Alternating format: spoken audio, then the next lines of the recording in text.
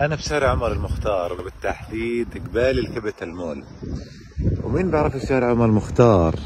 قبل عيد الفطر بيكون الشارع هذا مليان بالمحلات مليان بالناس اللي بتشتري مليان الناس بتتبضع المحلات في كل مكان. في الشارع هنا كان كاظم هنا كان كل المحلات هنا الكابيتال ما بخلاش من الناس تشتري أواعي بتشتري بضاعة بتشتري آه، حاجات خاصة للعيد. كسوة. ولكن الشارع قد صار مدمر مدمر مع إنه كان أزحم شارع بقطاع غزة وأجمل شارع و... وكل إشي راح تلاقيه فيه.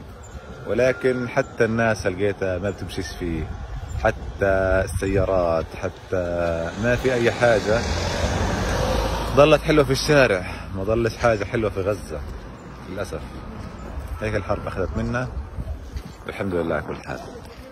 هذا